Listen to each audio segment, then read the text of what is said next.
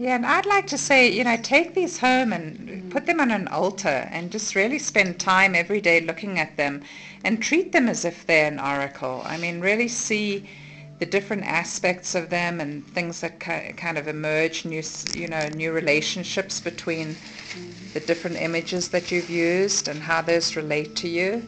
I mean, treat them with reverence because, I mean, this is really from the muses and uh, I think you were probably channeling something, some high, higher energy, so respect it. And even if it, you know, physically doesn't seem finished or anything, I mean, you can of course go home and work on it more, but maybe there needs to be some space or...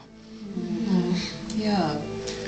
So also, um, one of my things is when I do readings for people, I either, if they don't have a deck of their own, I send them the images of the cards that came up in the reading.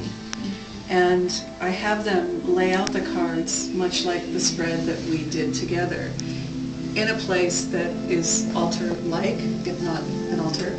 And I ask them to just visit it every day.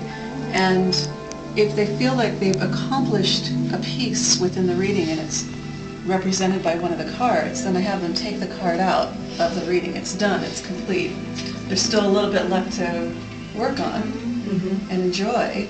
And so then when they're, they've removed all the cards, then the reading is, then the reading's finished. You know? It's not finished when we are mm. done with our conversation. Yeah, that's great.